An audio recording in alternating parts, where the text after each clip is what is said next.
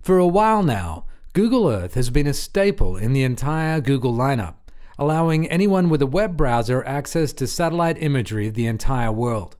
From the mountains of the Swiss Alps to the urban jungle of Tokyo, Google Earth allows anyone to travel right from their home.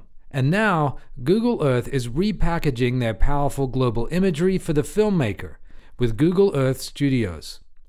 This browser based program allows the user to export simulated satellite footage of almost any location on Earth. From helicopter and drone vantage points to global rotation views, users can now simulate any Earth based footage they need. That's a tall order, so let's dive in and see how it all works. And then we'll take our exported video into After Effects and see how we can best utilize this new free tool. First off, go to the Google Earth Studio website. Being a browser based tool, there are no downloads necessary, though, as of this recording, it might still be in beta, so you may need to ask for access. Just make sure you have a good internet connection. If you click the drop down arrow on the left, you'll see that there are a couple of quick start projects you can jump right into. For quick and precise shots, or getting to learn the primary strengths of the program, these are great projects to check out. For our purposes, we're going to open up a blank project.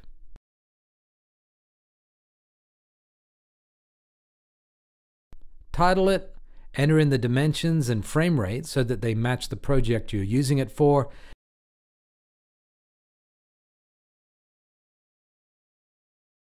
and click Start to create your new project.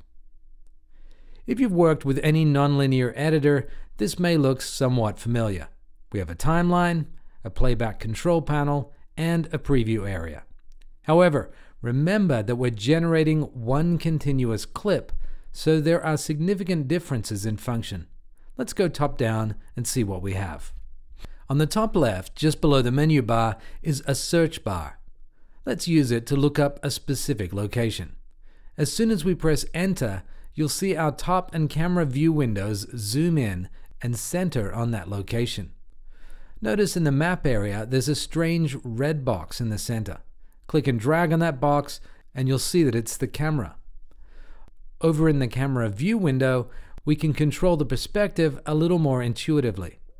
Left click and drag to pan around the map. Scroll on the middle wheel to zoom in and zoom out. Note that the zoom will center on your cursor, so hover it on the specific place you want to zoom into. Click and drag the middle mouse button to tilt the camera.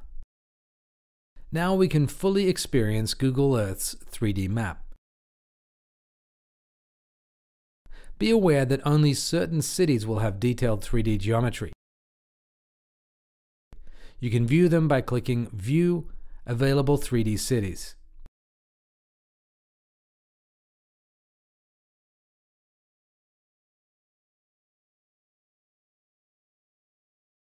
Notice that when we tilt and rotate the camera, a small circle appears indicating the anchor point around which the camera is pivoting. Let's take a look at the timeline on the bottom. Listed along the left side are the attributes we've been manipulating. Instead of dragging within the camera view window, we can drag these values side to side or get really granular and enter specific values. Right next to these values is the Add Keyframe button. Once you have your start position framed the way you want, click on these buttons to create keyframes. Or you can click on this button, which creates a keyframe for all attributes. Let's scrub forward on the timeline 72 frames. Adjust the camera view window to the second position. Unlike programs like After Effects, keyframing isn't automatic in Google Earth Studio. Instead, the Add Keyframe buttons will turn yellow to indicate the camera position is different from the previous keyframe values. Click the Add Keyframe buttons again to save the new position. Otherwise, any shift in the timeline will snap the camera back to the previous position. Select the keyframes and right-click to bring up the easing options. Click on Auto Ease. The line between keyframes changes to indicate where easing has been applied. If you want more control, click on an attribute on the left to bring up the graph editor. Toggle between the value graph and speed graph on the right. Hold Shift and click on multiple attributes if you want to adjust them together. Now let's place a camera target. Camera targets are a simple way to focus the view on a single point on the map. To do so, simply right-click on the map where you'd like the camera to focus and click Set Camera Target. Notice in the camera view window, our carefully framed shot has changed. Right now, the camera is automatically calculating its pan and tilt angles to point straight at our camera target. Not to worry, here's how to fix that. In the timeline, a new attribute labeled Influence has added itself. This determines the strength of the target's influence on the camera. Enter in 0% for now, and we're back to our original keyframing. Make sure to click the Add Keyframe button. Now let's scrub forward a little more and zoom our camera way out. It may be easier to control from the map view window. Let's also change the influence value to 100%. Don't forget to click on the Add Keyframe button. Let's set our end position now. Scrub to the end, place the camera,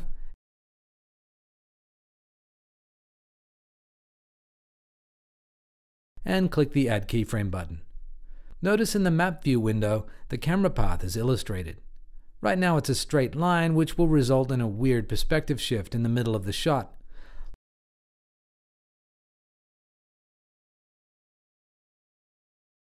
Let's adjust it so that it's more equidistant from the target.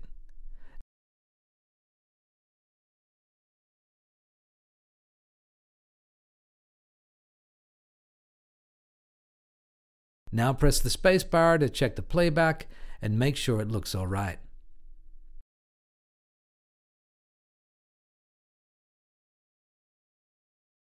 Now as is, the footage looks great. We can export it out now and be done.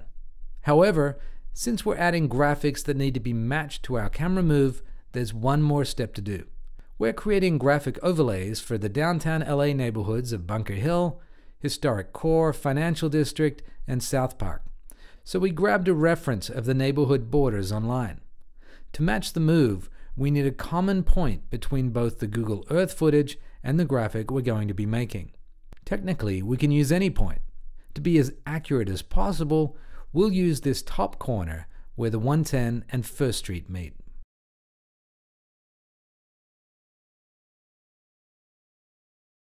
On the map view, right-click on the corner and choose Set Track Point. We'll use this information to match this footage with the graphics we've created. Name it and exit that window.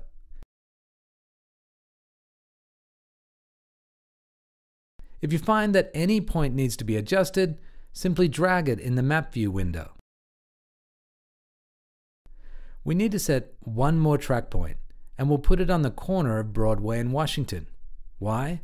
Because it's pretty much the opposite edge of our graphic and will give us a fairly accurate reference.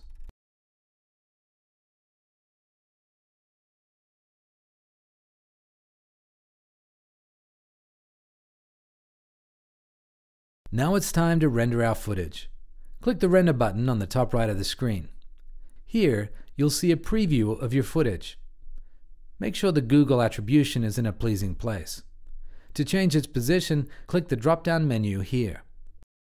Switch over to the Advanced settings and check the box for Include 3D Tracking Data.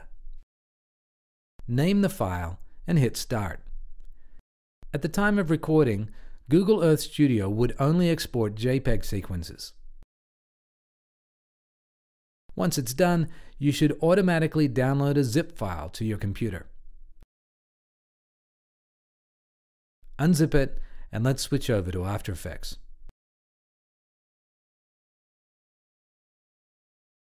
Start a new project. Click File, Scripts, Run Script File, and navigate to the .jsx file we just created. Open it, and it creates a composition with the footage, track points, and camera all ready for you.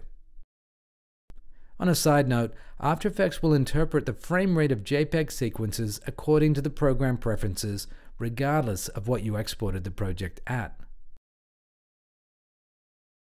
If they don't match, simply right-click the sequence in the project window, select Interpret Footage, Main, and change the frames per second to match. Now we can play through the footage and make sure it looks alright.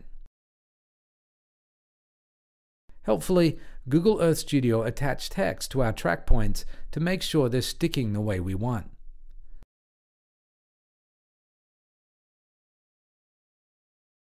Let's leave this alone for now and create our graphic assets. Import and create a new composition with the reference picture. If you're creating a custom border or a driving path, you can simply use a screenshot of the map of your chosen location. Draw over it with the pen tool to create shape layers for your After Effects shot. It's important that the map is accurately oriented with north pointing straight up. This way, when the graphic is overlaid, it will be correctly positioned. Great. Now we have a few shape layers to play with. Remember, our track point was at this corner, so we need to adjust all the anchor points to match. Select the Bunker Hill layer, switch to the Pan Behind tool by pressing Y, and move the anchor point to this corner.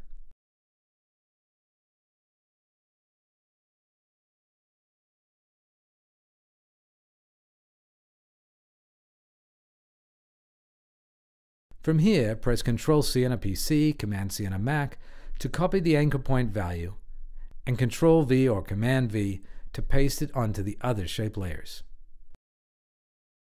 Do the same with the position value.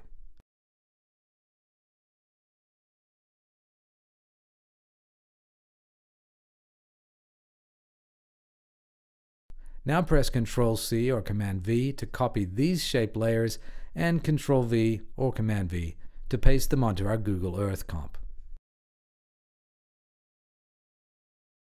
Make sure the layers are 3D enabled and then press and hold Shift while parenting all four shape layers to the 110 and first track point layer.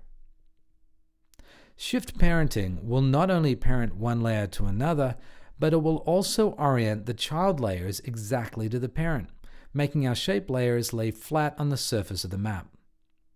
All we have to do now is scale the layers to match our map. This is what the second track point is for. Locate it and do your best to match that point with the corner of the graphic.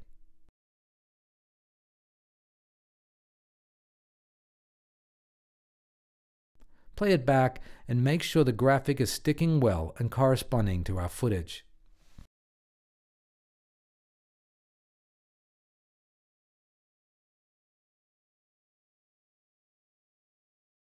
At this point, we can play around with the color, look, and animation of our graphic to create a final shot.